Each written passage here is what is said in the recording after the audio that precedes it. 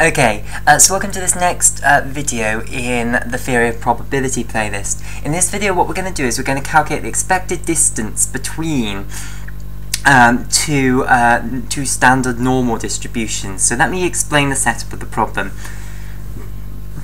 We have some abstract probability space here, and then we have a random variable x, which is a function ascribing to every single outcome in here a real number and the distribute the probability distribution uh, on this on this um, on this uh, set of real numbers is going to be standard normal, i.e. Uh, its PDF will be 1 over the square root of 2 pi e to the negative x squared over 2, so it's going to be standard normally distributed. And of course we know that the probability distribution on here, if this is going to be a random variable, it, it means that it mirrors the probability distribution on this abstract probability space. Okay, uh, so the setup is this uh, for our problem. What we want to do is we want to uh, pick an outcome from here. Just add, uh, you just pick a random outcome from here, and then you pick another random outcome from there. So it can take on any real number effectively. You can get any two real numbers. Uh, so, and then what we're asking is uh, take um, the difference between those two values you get in uh, their real numbers. Because of course you're going to pick two outcomes in here. So let's say uh, you pick S and S bar. But both of these will have uh, real numbers corresponding to them. So you can work out what are their real numbers. You can take X of S and X of S bar which are real numbers. So that's uh, you just act the function X on those outcomes to get their real numbers over here. And then basically you can take the difference between them and then take the absolute value of that to get um, a, um, a distance in some sense.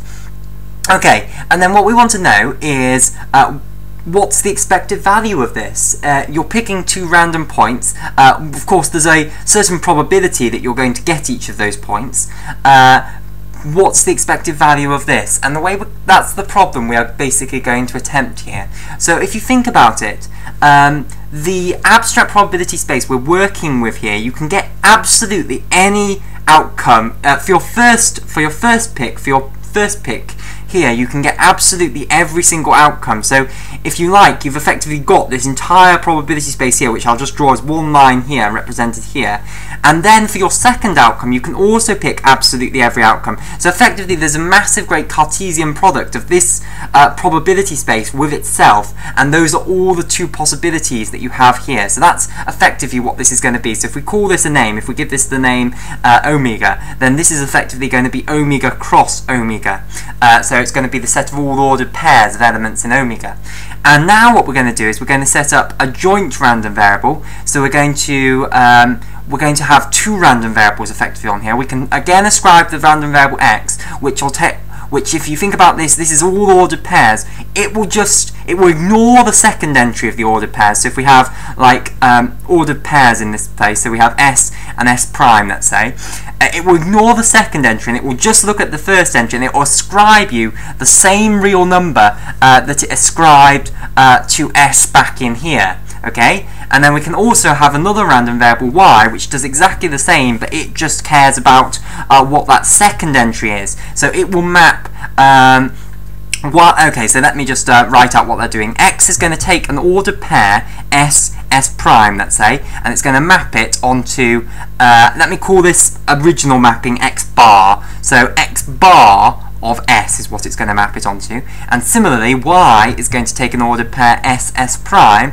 and it's going to map it onto X bar of S prime. So what, um, what this function up here would have mapped S prime onto.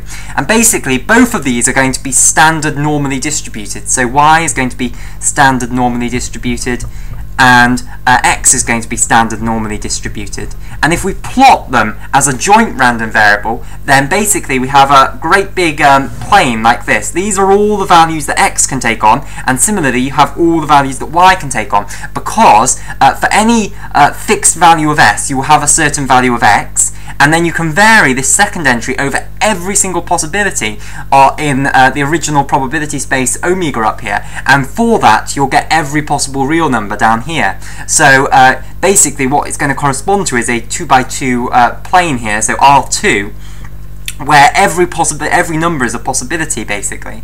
And uh, because they are independent because uh, the um, the your first the first outcome that you pick doesn't affect the uh, second outcome you pick, we know that the probability that x is equal to little uh, little x, let's say, where little x is a uh, real number, and y is equal to little y, will just be equal to the probability that x is equal to little x times the probability that y is equal to little y. That's just by um, by you know, by the setup of the problem, we know we we we are saying that the second pick should not affect the first pick, and that means. Um, the mathematical way of writing that is we're going to insist that this is true. So you can't really derive that I'm insisting that that is true, that these two random variables are going to be independent, that the, that you know that when we pick them, the the first one you pick is independent of the second one, and the second one is independent of the first one, etc. Uh, so that gives us this, and that uh, that's the fancy way. Um, independent is just words. That's what I mean by independent. That is going to be true.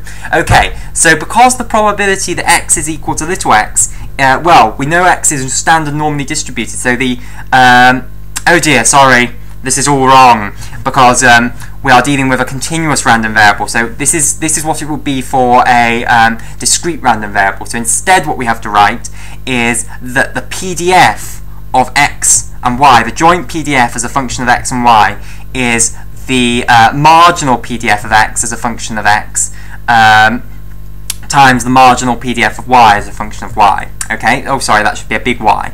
Okay, so we know what the marginal PDFs are. Uh, the marginal PDF for the random variable big X as a function of little x. So if you give me a uh, real number, little x, and want to know what is the probability, um, well, what is the probability density that you get that little value x, uh, we know that that's going to be 1 over the square root of 2 pi e to the negative x squared over 2.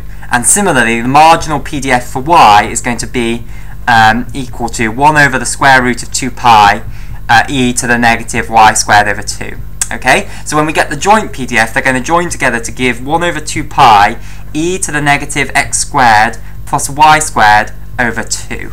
Okay, and if we actually plot that out, if we uh, think about plotting that as a function of R2, then what we're going to need to do is sort of put R2 on a slant like that, and uh, plot the probability density function uh, on the z-axis up here. So let's say this is um, this axis is going to be the joint probability density function as a function of x and y. It's basically going to look like um, the normal distribution, but in three dimensions. So here is a cross section of it through the centre, like that. Uh, and now basically it's going to do the same thing, so it's going to look like a molehill effectively, like this, in the other direction. And it's going to do that all the way around, so it's completely radially symmetric. So like that, etc. Okay, uh, so that's uh, the PDF we are dealing with in this case. Okay, so now the question is, what we would like to know is what is the random firstly what we want to know what we're trying to calculate the, the thing we're actually trying to calculate is we're trying to calculate if you take away the value of x from the value of y so uh, each of these outcomes is ascribed a value of x and it's ascribed a value of y. We now want to construct a new random variable which is x minus y. So to each of these outcomes, we're going to ascribe x minus y. And that's going to be a, a, new random variable, basically. And indeed, what we could do is we could plot x minus y as a function of R2, because each one of these has got a uh, unique specification in terms of R2. So, um, well, potentially not unique, but it, we could indeed plot it as a function of R2. Uh, but uh, what we want to now do is construct this new random variable x minus y and see what how it's going to behave. Okay, um,